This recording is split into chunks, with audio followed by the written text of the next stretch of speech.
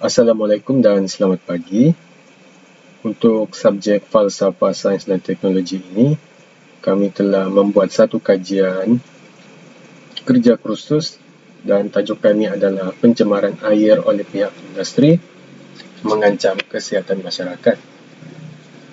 Ahli kumpulan kami terdiri daripada lima orang. Yang pertama adalah saya sendiri, Muhammad Fazli bin Husin, Muhammad Afid bin Mustamin, Alif Aiman bin Zainal Abidin, Muhammad Aiman bin Azmi dan juga Kuganan Saidara. Assalamualaikum dan salam sejahtera. Nama saya Muhammad Aiman bin Azmi dan hari ini saya akan menceritakan tentang sedikit bahagian pengenalan mengenai tajuk kami kumpulan tiga untuk subjek falsafah sains dan juga teknologi iaitu pencemaran air oleh pihak industri yang mengancam kesihatan rakyat Malaysia. Jadi bermula sekali kita kena faham apakah itu air. Ini ya, ini air. Uh, jadi air adalah sejenis cecair ataupun molekul yang meliputi 75% dari isi bumi. Yang di mana selebihnya adalah tanah, pasir, tumbuh-tumbuhan dan juga lain-lain lagi. Jadi saya akan menceritakan sedikit pengenalan mengenai pencemaran. Apakah itu pencemaran? Pencemaran adalah di mana bila seseorang itu dia mengubah sifat-sifat ter, uh, terhadap air itu. Di mana dia mengubah rasa, bau, haba dan juga dia telah mengubah rupa warna air tersebut dari warna asal. Itu yang telah menyebabkan pencemaran air. Di Malaysia, kita dapat lihat uh, banyak pencemaran-pencemaran yang berlaku seperti yang baru-baru ni di Selangor yang melibatkan kilang yang tidak bertanggungjawab melepaskan sisa-sisa toksik ke dalam sungai yang telah menyebabkan ratusan rakyat Selangor terjejas uh, berikutan dengan isu air ni dan Seterusnya saya akan uh, memberi laluan kepada kawan-kawan saya untuk mempersembahkan uh, efek-efek ataupun faedah-faedah, kesan sampingan dan juga lain-lain bagi isu pencemaran air ini. Terima kasih. Nama saya Kugunan. So hari ini saya akan bentangkan tentang objektif kajian. Bagi mencapai matlamat kajian tentang pencemaran air oleh pihak industri mengancam kesihatan masyarakat objektif yang telah digariskan adalah untuk nombor satu mengenal pasti punca terjadinya pencemaran air di sekitar Malaysia. Nombor dua mengenal pasti kesan terjadinya pencemaran air di sekitar Malaysia. Manakala nombor tiga adalah mengenal pasti pihak industri yang terlibat dalam pencemaran air. Yang akhirnya ialah mengenal pasti pencemaran air dan kesan terhadap kesihatan masyarakat di sekitar Malaysia. Okey, uh, Assalamualaikum. Uh, saya Muhammad Afid bin Mustamin akan membentangkan berkenaan dengan punca dan kesan pencemaran air. Okey, antara punca pencemaran air adalah uh, pembuangan sisa bahan buangan dari kilang seperti sisa toksik yang sering berlaku pada masa kini kerana uh, ianya dianggap mudah sebab tidak memerlukan kos pelupusan. Okey, seterusnya adalah pembuangan bahan-bahan buangan seperti minyak, aa, najis, sampah yang dilakukan oleh segelintir masyarakat yang tidak bertanggungjawab. Okey, seterusnya adalah pelepasan dari kawasan-kawasan perindustrian seperti aa, di dalam pertanian seperti pemparetan yang tidak bersesuaian. Ianya berlaku kerana Ah, dalam pertanian ianya menggunakan racun serang untuk membasmi serangga. Tetapi jika pemparetan tidak sesuai ianya racun itu akan menyebabkan mengalir ke sungai dan akan mengakibatkan pencemaran air akan berlaku. Okey dan seterusnya adalah influen dari loji rawatan kumbahan yang tidak diselenggara dengan baik juga akan menyebabkan uh, menyebabkan punca pencemaran air akan berlaku. Okey, antara kesan-kesan pencemaran air adalah uh, yang pertama, ianya akan menjejaskan kesihatan manusia. Okey, antara contoh uh, manusia akan mudah terdedah dengan pelbagai penyakit yang berbahaya seperti penyakit kulit serta penyakit diare yang akan meningkat jika tidak ditangani uh, dengan segera. Okey, uh, seterusnya mengurangkan tekanan oksigen di dalam air. Uh, sistem air bawah tanah akan tercemar seterusnya uh, menjejaskan keindahan alam serta uh, berlaku, uh, akan menyebabkan berlakunya banjir. Okey. Uh, ini adalah contoh uh, gambar uh, pencemaran air yang berlaku di negara kita.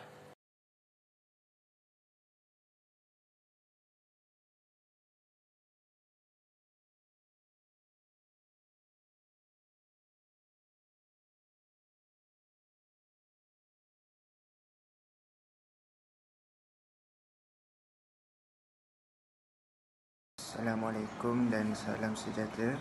Nama saya Alif Aiman bin Zainal Abidin dari Kumpulan 3 ingin mengupas tentang pihak yang bertanggungjawab dan serta cadangan kajian tentang pencemaran air oleh industri terhadap masyarakat. Pihak-pihak yang terlibat adalah Jabatan Mineral dan Geosains yang mengiktiraf permit perlombongan mineral iaitu emas, besi, biji timah dan sebagainya. Selain itu, pejabat tanah dan galian iaitu pihak yang mengiktiraf lesen melombong pasir untuk sesuatu kawasan. Seterusnya ialah Jabatan Alam Sekitar yang mengawal influen industri, kumbahan, bahan buangan terjadual.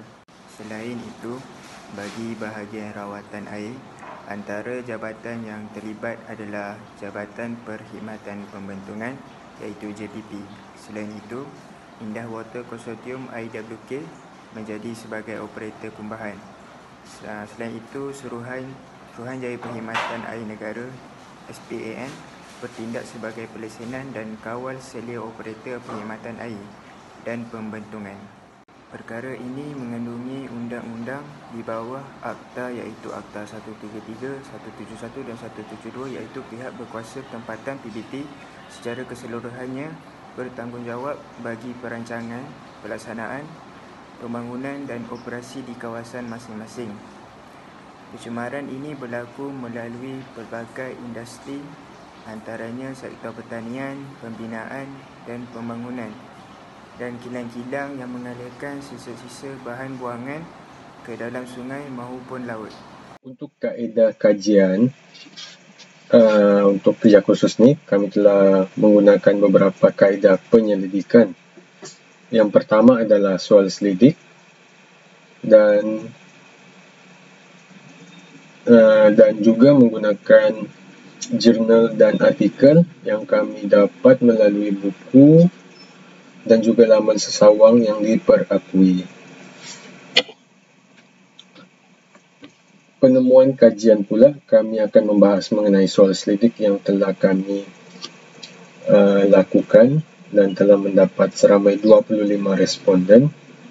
Dan responden yang telah menjawab adalah pelajar UTM sendiri. Dan bahagian untuk soal sidik ini kami telah membahagikan kepada empat bahagian. Yang pertama adalah bahagian E latar belakang responden. Majoriti menjawab soal selidik ini adalah berumur 23 hingga 24 tahun dan fakulti yang terlibat adalah majoriti adalah fakulti saya sendiri iaitu FTKME dan selebihnya adalah FTKMP, FTI dan juga FTP dan sebagainya. Tahun pengajian uh, sebanyak 66.7% adalah tahun 3 dan selebihnya adalah tahun 1 dan tahun 4. Bagian F, eh, bagian B, sumber pengetahuan tentang pencemaran air. Pencemaran sendiri. Sebanyak 62% menjawab ya. Apa yang dimaksudkan sini adalah bagaimana pencemaran air ini berlaku di sekitar responden. Adakah masih di tahap yang tidak membimbangkan ataupun sudah di tahap membimbangkan? Uh, melalui surat kabar, majalah atau buku dan sebanyak 92% menjawab ya. Ya, mereka mendapat maklumat ataupun info-info mengenai pencemaran air ini melalui surat kabar, majalah dan juga buku. Kempen alam sekitar oleh kerajaan ataupun NGO yang terlibat. Sebanyak 72% menjawab ya. Mereka dapat info mengenai uh, apa yang berlaku di sekitar Malaysia ini seperti pencemaran air melalui kempen-kempen yang dilakukan oleh oleh kerajaan ataupun NGO NGO yang terlibat. Bahagian C adalah faktor-faktor pencemaran air. Banyak petani di Malaysia menggunakan baja kimia untuk aktiviti pertanian. Dan apa yang dimaksudkan dengan 1, 2, 3 sini adalah 1 sangat setuju, 2 setuju dan 3 uh, tidak setuju. Dan seramai 13 responden menjawab setuju mereka menggunakan baja kimia. Okey, baja kimia ni digunakan mungkin disebabkan permintaan yang banyak dan juga petani ingin mendapat hasil yang segar dan juga cepat. Jadi baja kimia ni amat berbahaya jika tidak dipantau dan tidak dikawal penggunaannya. Okay, pembuangan sisa domestik seperti lampin pakai buang sisa makanan plastik telah menyebabkan air sungai tercemar. Okay, untuk ini seramai 17 responden menjawab sangat setuju. Seperti yang kita pernah dengar, pencemaran air ini ini adalah salah satu punca berlakunya pencemaran air dan apabila benda ini berterusan boleh menyebabkan kesihatan manusia terjejas dan juga bekalan air juga terputus. Banyak sisa pertanian seperti plastik baja, tong racun dan lebihan sisa pertanian dialirkan ke dalam saliran parit Uh, untuk ini, seramai 13 responden menjawab sangat setuju. Uh, apabila plastik baja, tong racun dan lebihan sisa ini disalirkan kepada disalirkan ke parit, boleh menyebabkan kotor dan juga apabila disalirkan ke parit dan juga akan uh, saliran itu akan terus ke sungai. Dan apabila terus ke sungai, pencemaran akan berlaku.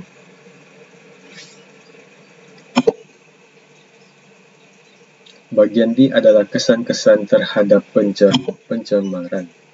Air dalam sungai telah tercemar disebabkan oleh penggunaan baja kimia yang berlebihan.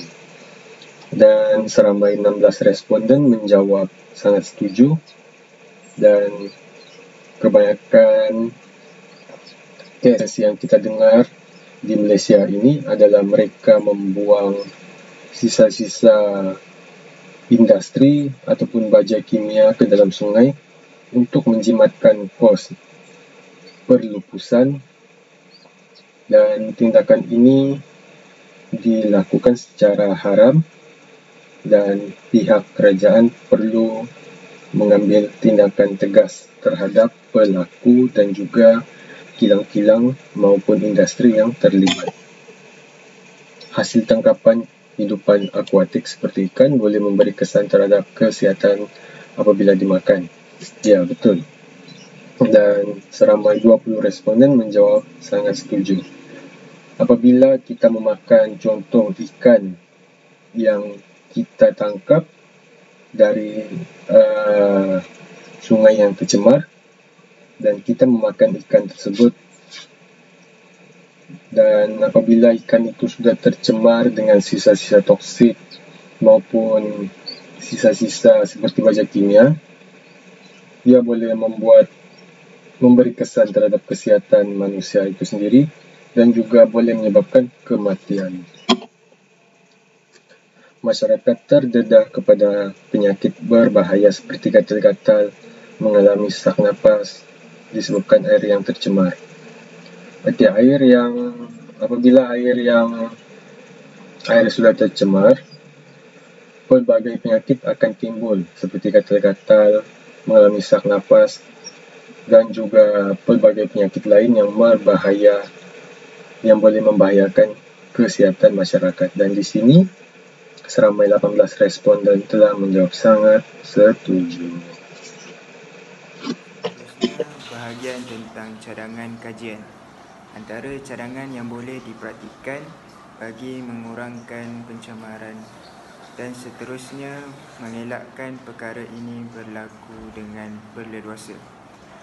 Yang pertama, penggunaan teknologi moden. Yang kedua, pendidikan dan kempen terhadap pencemaran air. Yang ketiga, aktiviti dan cadangan untuk melindungi alam sekitar daripada tercemar. Yang keempat, tindakan keras terhadap pihak yang bertanggungjawab.